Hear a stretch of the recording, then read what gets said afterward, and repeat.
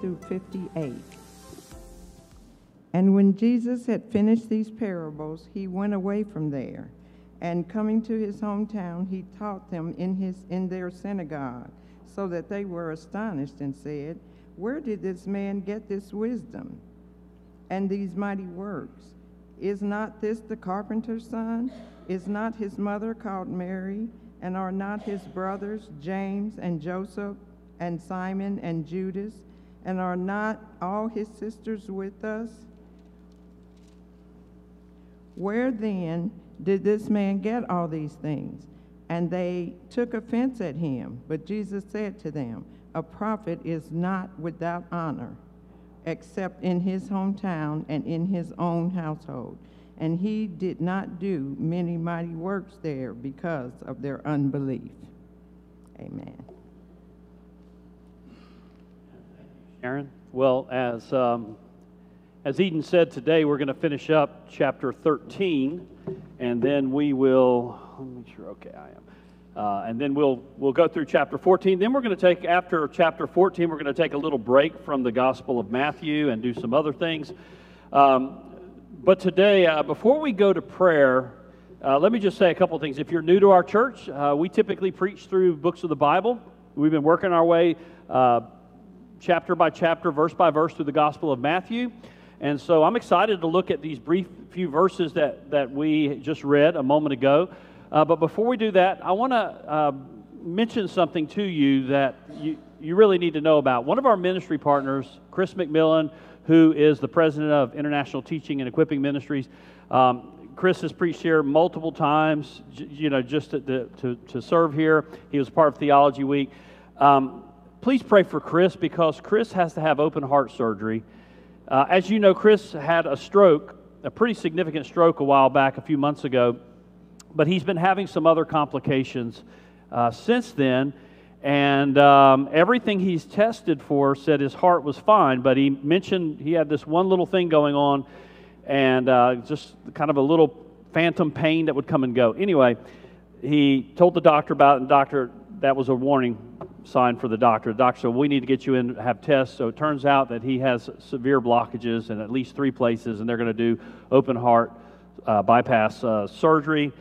Uh, I don't have a date for that yet, but it's going to be soon. And uh, I want us, we love Chris. Chris is a good brother, um, and he's a personal friend of mine.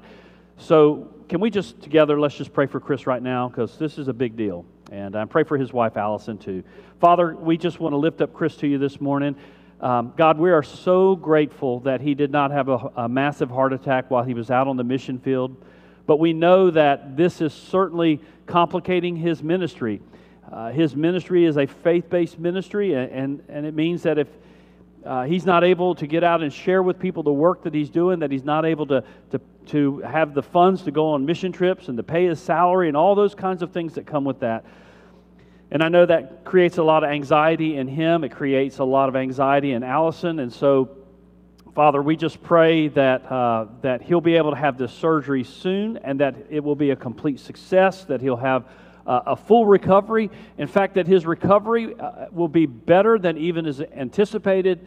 Uh, Lord, help him to not be anxious during this time. Help Allison also to trust you. God, we just pray that, that everything will go well with them. This has been a, a very difficult season in their lives. Not only have they dealt with illness, but they've, their parents have also had illnesses on, on both sides of their families. And so there's been a lot on their plates. And I just Lord, as a church family, I want us to pray this morning and just intercede for them, that you give grace to them, strength to them, uh, that you. Um, that you give healing to Chris through the hands of doctors and medicine, that you raise him up, that he can continue to do the good work, the good gospel ministry that he's been doing. That's where his heart is. That's where you've been blessing and using him. And we just pray that that work will continue to, to prosper and grow. Lord, help him this morning to know that his brothers and sisters at Temple Baptist Church love him. We're praying for him. Lord, give peace to his heart, give strength to his body. Uh, help him to trust in your promises. And we pray these things in Jesus' name. Amen. And if you know Chris, let me just encourage you reach out to him, send him an email, a text message, let him know you love him, you're praying for him and his wife. Well, this morning we're looking at. Uh, Familiarity breeds contentment. We're looking at the hometown rejection of Jesus. And to get us started this morning, I want to tell a story from the Old Testament. In the Old Testament, uh, Aaron, the high priest, had two sons. You may remember this story. It's the story of Nadab and Abihu. Uh, in Exodus chapter 24, Nadab and Abihu received, you might call it, an amazing, once in a lifetime kind of opportunity. They went up on the mountain with Moses and with Aaron and saw God. The text actually says they saw God and they ate and they drank in his presence. Let that just sink in. Who gets to do that? Who gets an opportunity as amazing as that? They saw God and they ate and they drank in his presence. What a splendid privilege these two men were given. But if you keep reading, sometimes later, you find that Nadab and Abihu treated the Lord with contempt. How so? Well, they offered strange fire, unauthorized fire on the, off, on the altar for the offerings of the Lord. And the scripture says that it angered God, and God consumed them with blazing fire for their actions. Now, for many of us, that, that seems like a divine overreaction. I mean, why would God do that? Why, uh, who cares about where the fire comes from? I mean, fire is just fire to us. And we don't have time to dig deeply into this story, but let me make a, a couple of just observations and then we'll move on. It does matter what we do when we come into the presence of God. We must come before Him in a way that is consistent with His will and His revelation. Anybody who tells you, anybody who says to you, you know what, God doesn't really care about that. He doesn't really care about how you worship Him. He doesn't care about those little details. That's somebody that's not actually read the Bible. God greatly cares about how we worship Him, and we must worship Him in truth, in accordance to how He has revealed Himself and how He has instructed. Now, there's more to that story. Let me just mention this. It's possible, actually, that Nadab and Abihu were actually intoxicated when they made the offering of strange fire on the altar. Just a few verses down after this event where God strikes them dead, we read these words God says to Aaron, You and your sons are to, to not drink wine or other fermented drink whenever you go into the temple of meeting, that is the place that's offered where they offer sacrifices, or if you do, you will die. This is a lasting ordinance for the generations to come, so that you, and listen to this, why does he not want them to be drunk when they're, when they're performing their priestly duties? Here's what he tells them. So you can distinguish between the holy and the common, between the, the unclean and the clean. So apparently, these men were drunk when they were performing their priestly duties. They were not in control of their thoughts, and this led to their blasphemous disregard for the prescriptions that God had ordained.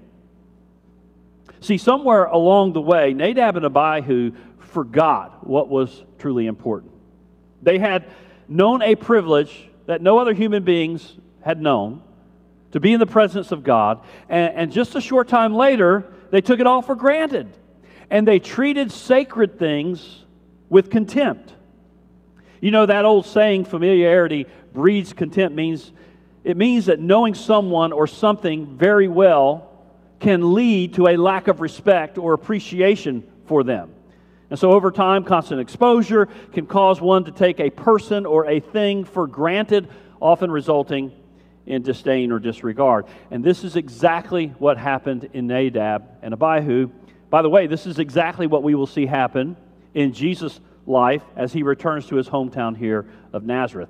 Their familiarity with Jesus leads them to treat him as merely common, failing to see him for who he truly is. But let me just say to you as we, get, we dig into this passage, we're going to go pretty quickly through this. This is a short passage, and I think I'll preach a little shorter. I don't know. I'm going to try. I don't know. I always say I am, especially on Lord's Supper Sundays. I'm like, I'm going to preach short, but mm, just it's just never works out. Uh, but let me just say, this passage also, I think, has a warning to us. Uh, Jesus must never become common or ordinary to you or to me. Like Nadab and Abihu, we must not treat what is sacred as common. Our love and our devotion to Jesus should increase as our knowledge of Him grows. So, here's the main idea this morning I want to get across in this message. In one sentence, familiarity with Jesus should deepen our faith, not diminish it. Familiarity with Jesus should deepen our faith, not diminish it. And we're going to take this passage, this brief passage, we're going to break it down into three short sections. We're going to look at, first of all, Jesus returned to Nazareth. That's verses 53 and the first part of verse 54. Then, secondly, we're going to look at G- Jesus' rejection in Nazareth. And then finally, we're going to look at Jesus' response to Nazareth. So let's look at that first point there again. Jesus returned to Nazareth. Now, there's something about going home, I think, that's just comforting. I don't know, it's just nice. Uh, if you're not from Virginia and you get to go home, typically that's a good experience, I think, for most people. We look forward to going back.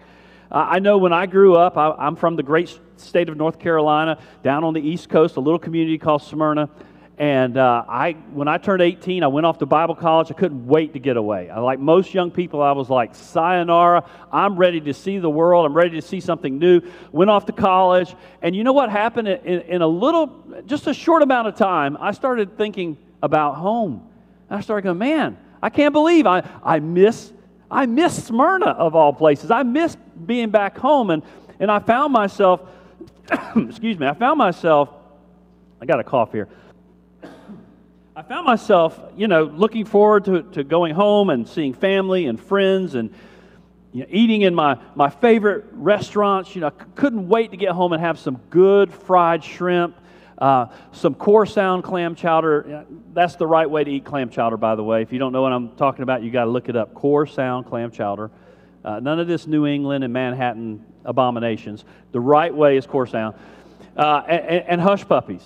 Hush puppies. And, and I know you can go anywhere and get hush puppies. I'm just going to, I know this sounds biased, but the best place to get hush puppies is Carteret County, North Carolina. They are unique. Even that guy, um, Guy, how you say his last name? Yeah, that dude. That guy even did a special show about how the hush puppies are made from Morehead City, North Carolina. So I'm just telling you, I'm right on this, y'all. Trust me and uh, and it's just the best. And and so I loved going home and just you know hanging out with friends, seeing the old landmarks of my youth. Have I done something wrong? Oh, thank you, thank you very much for that. I do appreciate that. Um, and I imagine Jesus probably had some good memories growing up in a small community. Um, like Nazareth. In Jesus' day, Nazareth was mostly a Jewish settlement. They had about 1,500 people in it. Now, today it's radically different from that. It's known as the Arab capital of Israel. It's a sizable city. It's got about 80,000 people in it. About 70% of those people are Muslim, and about 30% of those people are Arab Christian. And there's almost no Jews that live in Nazareth today. Now, after Jesus' extended teaching time, uh, in chapter 13, he decides to get on the road and head home to Nazareth. And in fact, all three not, uh, synoptic gospels record Jesus ministering there. Uh, he, you might remember, he's born in Bethlehem, but then his family moves to Nazareth. And so it's possible that this, this event that Matthew records for us is the same as the one that Luke records in Luke chapter 4, although I don't think it probably is. I think it's a different, a different visit, but we can't be entirely sure. But what does Jesus do when he gets to his hometown? Does he go and say, "Hey, I want to hang out with my high school friends"? Does he say, "You know, you know what? I, I, tell tell folks I'm on vacation. I don't have time to meet with them." Nope, nope. You'll notice here he goes straight to the synagogue to teach God's word to the people. The synagogue was the centrally important uh, uh place where God's people gathered. It was sort of like church. You went there to, to worship, to study the scriptures, to fellowship with other believers. And it was common for the, the, the ruler of the synagogue to ask guest teachers if they would like to preach. And so I'm sure Jesus understood this. He knew this opportunity, he took advantage of it, and so he stands up to address the people and, and has some things to say to them. Which brings us to the second part here of the, of the text because uh, this occasion, this joyous occasion of the hometown boy returning, turns sour very quickly. We're going to look at Jesus' rejection here in Nazareth. And Matthew records that the people were astonished by Jesus. They're, they're listening to him teach, and they've seen him minister, and they are astonished. And they, they ask a series of six questions. Six questions. And each of these questions, we learn important details about Jesus. So, what we're going to do is we're going to look at question number one, and then we're just kind of bundle the rest of the questions, two through six, together. All right, so question number one Where did this man get this wisdom and these mighty works? How in the world does this ordinary guy speak like this with such wisdom and insight? How can he perform such miracles? They undoubtedly heard of Jesus performing miracles in other places. Uh, his reputation preceded him, but he also, the text tells us in, in, in the Gospels, that he did do some miracles in Nazareth. So they cannot deny the fact of these the miracles that Jesus has done. The only question is the source. Where does he get this stuff from? Does it come from God or does it come from the devil? Jesus received no rabbinical training. So how in the world can he do these things? So that's the question there. And then you look at questions 2 through 6, and basically here's what you see. They go, Is not this the carpenter's son? Is not his mother called Mary? And are not his brothers James and Joseph and Simon and Judas? Uh, this is not Judas Iscariot, by the way, it's a different Judas. And, and are these not his sisters with us? Where then did this man get all these things? Now you'll notice the details here. Not only do they know Jesus, but they know his family. They know his dad, Joseph, the village carpenter. And a carpenter would have been a well known individual in a small community like that. And Matthew, you'll notice here, he's included the other details. They, they, they know his mom by name, they know his siblings by name. This is a well known, large, established Jewish family in a small community. Now, here's an interesting, I think, I think it's an interesting question for us to consider. What did Jesus do in the early years of his life? before he started his earthly ministry. What did he do? You'll notice the Bible doesn't say a whole lot about that. I mean, there are a few things that we can learn from the Gospels that, that he did. Uh, in Luke's Gospel, we see a few of those details. Um, and there are some things that we can glean about what his life would have been like based off of our understanding of, of a typical Jewish family in the culture and the, and the, uh, the, the, the age of that time. But that being said, it's not enough for some people. There are some people uh, in history who wanted more details about what Jesus did in his early life. So, what they did is they just kind of created all of these really fanciful stories about his childhood. For example, as a young Christian, I was given a book that contained Jesus' apocryphal uh, infancy narratives. Now, I had, as a a, boy of 13 or 14 years of age, I had no idea, idea that these stories were actually not part of the scriptures. The book was, that was given to me, it was given to me, I think, by my grandmother. The, the title of it was something like The Lost Books of the Bible. Well, you know, that immediately made me think that these, these stories are true and that somebody has hidden them from us. Somebody has taken all of these stories out of our Bibles. And so now I'm going to I'm going to find out because this is you know, this is deeply disturbing to me that somebody would, would hide something about Jesus from us. And so, in the, uh, in the apocryphal infancy narratives of Jesus, uh, he is depicted as what I would call sort of like a, I don't know, like a, like a young Jedi. You know, he's, he, he, he's kind of got these powers that he doesn't fully know how to control yet, and he doesn't have the, the moral, I don't know, the moral foundation, if you would, to, to distribute them properly. He doesn't have the moral compass to, to use them well. I remember reading one disturbing story in particular. This one really bothered me as a kid. In the story, uh, a little boy bumps into Jesus, just accidentally bumps into Jesus. And Jesus gets so angry at the little boy that he strikes him dead. Yeah, now, at such a young age of 13 or 14, I didn't know much about the Bible and I didn't know much about theology, but I knew enough to understand that Jesus was supposed to be without sin and he was also supposed to be pretty nice. And that story kind of undermined both of those for me. It caused a lot of doubt.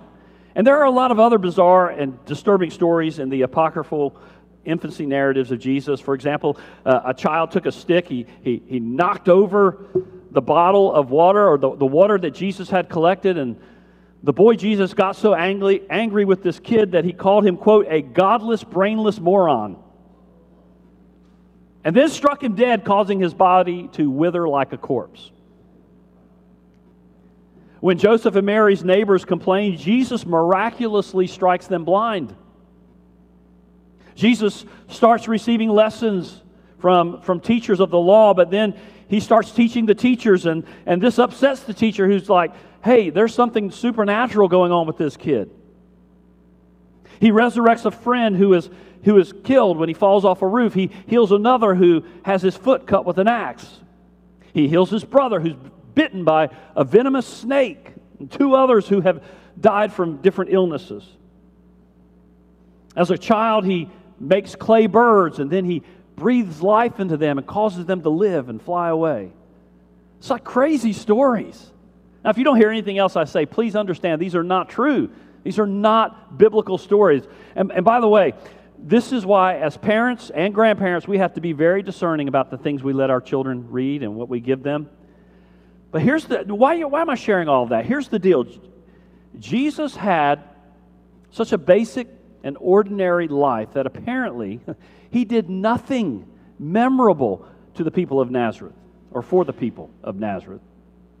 I mean, we know that all of these fanciful stories that I just told you are not true. And by the way, historians and theologians and scholars don't believe they're true either. But we don't need scholars and historians to, to prove to us that those stories I just shared with you are false.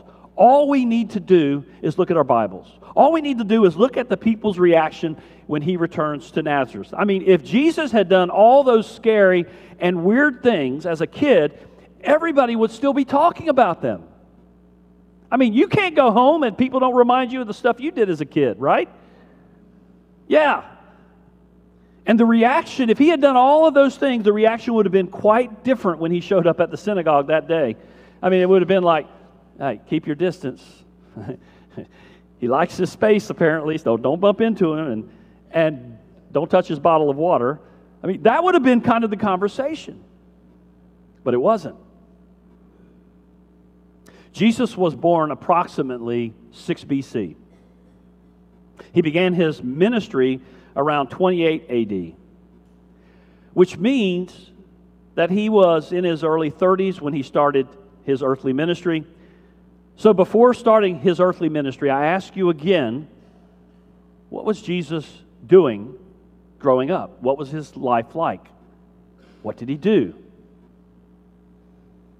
And again, based off of the Gospels and based off of our understanding of Jewish culture society in the first century, we can glean some ideas about that. Well, for example, being from a, a typical religious Jewish family, he would have attended synagogue worship with them. Uh, and, and we know from Luke's gospel he did. In fact, it was his custom to go into the synagogue. He would have participated in all the religious holidays and festivals of his faith. He would have served with Joseph, his father, learning the family business. In those days and in that culture, there's no such thing as economic mobility where you could go out and find yourself and, and, and switch gears and, and choose a different career. If your father was a carpenter, guess what? You were a carpenter. If your daddy was a fisherman, you're going to be a fisherman. And you know what? Your sons are going to be fishermen as well. Most scholars believe that Joseph died early in Jesus' life, which means as the firstborn son, it would have been his responsibility to take over the family business as the village carpenter. And so all of these things would have been the daily rhythm and, and routine that defined Jesus' life. Bottom line is simply this in all these years, Jesus didn't do anything apparently particular, uh, he didn't apparently do anything that was particularly special to show that he was a Messiah or anything out of the ordinary. He wasn't going around turning clay birds into real ones or striking people dead in anger or turning classmates into mummies because they offended him. We want to know more details about Jesus' childhood and youth. But the truth is that the early life of Jesus was just uneventful, bland, and boring. I mean, look at what the people are saying here. We know this boy. He's one of us.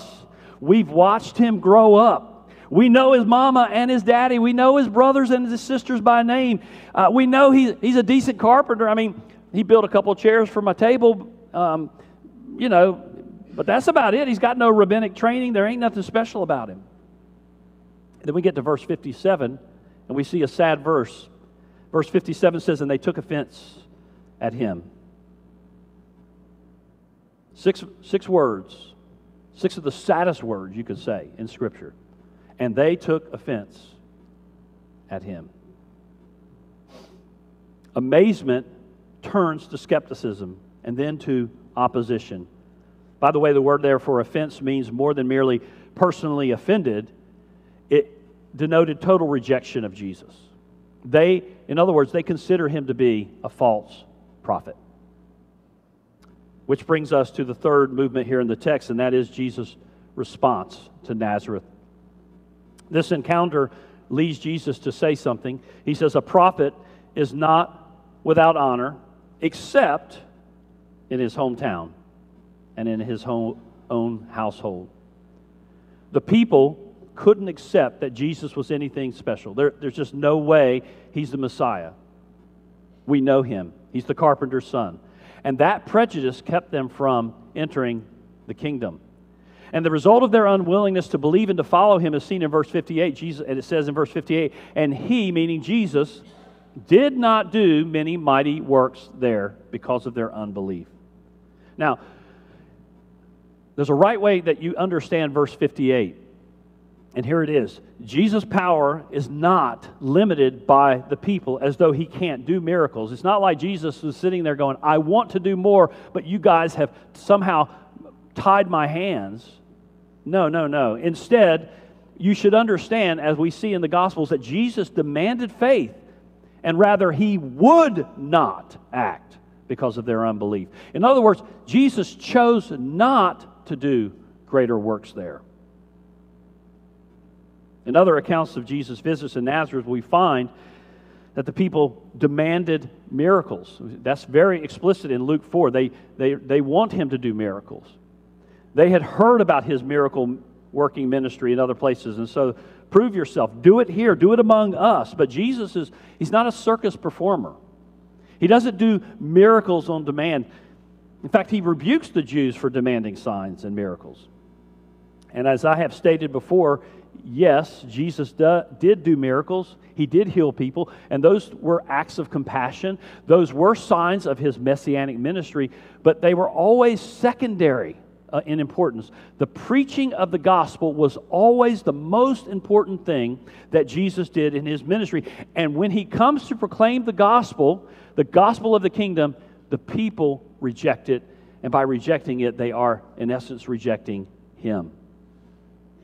Now, you might be thinking, why even include such a detail as this story in the Gospels? I mean, this is a weird thing. You know, that he goes home and the people reject him. Doesn't such a story undermine his credentials as Messiah? I mean, the people who knew him and grew up with him refused to follow him. Well, actually, I don't think it does. I think it actually strengthens Jesus' credentials. See, the writers of the Gospels, they show us I think they show us that people are really no different then as they are today. Uh, for some people, there's no amount of miracles that you can give them. There's no amount of truth that you can proclaim. They will just absolutely reject it all, even if it comes from the mouth of Jesus himself. I think it's here because the historical narratives about Jesus' life, that is, the Gospels, excuse me, are true. And the writers, they're not afraid to report inconvenient truths about Jesus' life, how he was looked at and treated by others. And if the Gospels are true, then you know what? They can stand scrutiny, they can stand questions. The, the Gospel writers never try to create this airtight kind of uh, defense or presentation of Jesus. They just say, here he is, here's who he says he was, here's what he did, here's who we believe he is, here's all the other details. You believe it or not. And while it is true that there were many people who did not believe in, in him during his earthly ministry, Jesus is a prophet is with honor except in his own hometown and among his family. You'll notice that among his family. That was true. His own family did not receive him as the Messiah until he rose from the dead. And once your brother rises from the dead, that sort of changes everything. You read in Acts chapter 1, the time of his ascension, the scripture says that in the upper room, among them, the disciples and others, is Mary and his brothers and his sisters. And then his brother James becomes the leader in the church of Jerusalem, writes the epistle with the title James. Eventually, his family sees that he is indeed the Messiah and they are followers of him. Well, as we study, study this brief passage of Scripture, maybe this passage, again, maybe it surprises you. I mean, how could people know Jesus and not follow him? Well, I think it's, it, it's exactly what we said. There, there's, a, there's a familiarity that breeds contempt, there's a prejudice against Jesus that keeps the people from entering the kingdom. But I think there's a dangerously different kind of familiarity with Jesus that we must resist. And for American Christians, it's that we become apathetic with the truth. Everywhere you look in our society, we have, we have um, opportunities for growth. We have never lived in an age like we live in right now. The Bible is literally at your fingertips. It's on your phone, it's in the pew in front of you. You probably have multiple copies of it in your house. If you want to do a Bible study on a topic, all you got to do is do a web search. We have books upon books in our libraries. We have digital books on our phones, and our, our computers, and our, our, our um, tablets. We have never lived in, a, in an age like this one where you have access to good Bible teaching. It's online. It's on your TV. It's everywhere you can look. You want to you want to learn from a teacher that lives in Israel? You don't have to order the cassettes or the VHS tapes or whatever like we used to do back, way back in the, the dinosaur days. No, you just go online and there it is right before you. You want to order something physical? You can get it here overnighted from China. I mean, this is an amazing age that we live in. And it's very easy for us to become apathetic about the things of God. Many of us in this room have been Christians for a long time. You, you might have been raised even in a Christian home. I, I see this, this particular apathy that I'm talking about, this boredom with spiritual things. I see this as a particular problem in Christian schools and among Christians who have gone to Christian colleges. You, you start taking certain things for granted. You're, you're well versed in, in the facts and the stories of the Bible, but you're no longer captivated by them. You are bored with Jesus. Every church I've pastored, I've seen kids and adults and grandparents who are bored with Jesus. Been there, done that, heard that. You've heard the gospel so many times, it's just, it's not good news, it's just old news to you. And when we gather, you, you go through the motions of worship, but you don't feel anything. If you sing, and that is a big if because a lot of people, frankly, don't sing in the church today, but if you sing, a lot of us, we, our lips barely move and our hearts are cold. You don't want to read your Bible, you don't want to pray. It's all become formulistic, just taken for granted. You are treating sacred things as common. You have become casual with what is holy. But, brothers and sisters, let me suggest to you this morning, not just suggest, let me declare to you that Jesus demands better than that from you and from me. His love and sacrifice for us, His promises in the age to come, the fact that our sins are forgiven. Have you read the book of Hebrews that Christ sacrifices once for all, past, present, future sins are covered under the atoning work of His blood? Have you read that lately and reminded your heart of that truth? By the grace of God, we need to shake ourselves out of our slumber. It, it, it, this, this sin requires us to repent and once again see the Lord high and lifted up with, with eyes that see His beauty and His glory. Get fresh eyes this morning. Come to God and say, God, forgive me. God, forgive me for just being apathetic. Forgive me for the, the boredom that I have allowed to enter my heart. Forgive me for treating holy things as common. And give me a heart that's tender once again, and eyes that are fresh to see, and ears that are keen to hear. Secondly, there's a, I think there's a, a familiarity that breeds contempt that we can experience that's similar to what Jesus experienced. You, you might go through this when you leave this church, this, this service, and go home in your house. Or it might be when you go back home to your hometown that you grew up in. You know, at this point in your life, you, you might be accomplished, you might be educated, you have a, a special title where you work. People call you boss or doctor, so and so. But when you return home, you're just little Jimmy. You know, you're just little Jenny, that boy, that girl that they watched grow up. And none of your titles and none of your accomplishments and none of your degrees and your big fat bank account, none of that stuff impresses them. And often, even our faith in Christ impresses them less. Many of us have family members who are rejecting the gospel. And so when you go to talk about your faith, they, they don't take you seriously. And they often remind you of all your past sins, all the things that you did growing up. And now you're getting holier now, and now you're preaching to me. And, and what do they want to do? They want to somehow bring you down a couple of notches because you're not, that, you're not that holy, and you're not that clean, and you're not that different from me. That's what they're saying. But I just want to encourage you this morning you can't let those kinds of attitudes and tactics discourage you or frustrate you from living your life on mission and speaking the gospel to others. The world needs to hear the truth, and we are called to proclaim it. We are called to live out the gospel among this world, and that first and primarily starts with your family. And so maybe this morning you're just struggling in this area. I want to just encourage you come this morning, to, to, go to Christ in prayer this morning and, and come to Him and say, Lord, give me strength. This is, you, you know, Lord, you know what it's like to live with this man, or you know what it's like to live with my wife who's, who is an unbeliever. You know what it's like when I go back home and I see those people and, and they remind me of all the stuff I did and, and maybe even invite me to join back in with them. You, you know what that's like. Maybe it's a source of temptation and discouragement even for you. But I invite you to bring all of that to, to Jesus today and come and find grace. Grace for what seems to be the impossible. He will give it to you. And your family, your family needs your witness. And you can't punt on that. Let's pray. Father, this morning, God, help us, stir us, Lord. Quicken us to get beyond our, our treatment of what's holy as common. Convict us, Lord, when we do this. Help us to see how we are doing this right now.